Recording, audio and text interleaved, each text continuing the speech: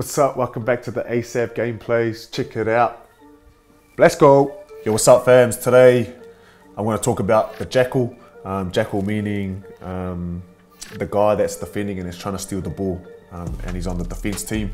Obviously, going to talk about my mindset, the execution, and the outcome. And in this certain play here, um, as you can see, I'm quite close to the ball. I'll pause it there. Um, I'm just waiting to see one of the pictures that I look for, as if there's an early latcher on the ball carrier. Early latcher meaning if there's a guy that's like an assist um, to the ball carrier. And as you can see on this play, when I play it on, TJ makes a good tackle and there's two of them right there. Um, and as you can see for myself, my mindset is when there's an early latcher, if they clean past the ball, um, which in this instance they do, um, and then the ball carrier goes down and the, the is exposed and free for me to attack.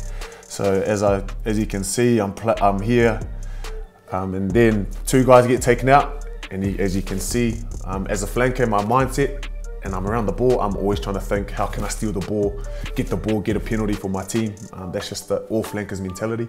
Um, and as you can see here, I see the balls available. I go on, execute, get nice and wide base. Um, it's one of the easier jackals that I do. Um, there's no cleaners coming to me except for Will, um, the halfback get my hands on the ball. Ideally, you want to get a penalty. Uh, best case scenario is you uh, steal the ball, get the ball and pass it here. And in this instance, I'm able to do that. I get the pass away to Ngans and I think we score in the corner. Um, so that's a bit about the Jackal, my mindset is how can I steal it? Is there early latcher? They clean past the ball, the ball's there. Execution, get a wide base on my feet, get my hands on the ball, rip it. And then um, the outcome is we score the try. So Let's go.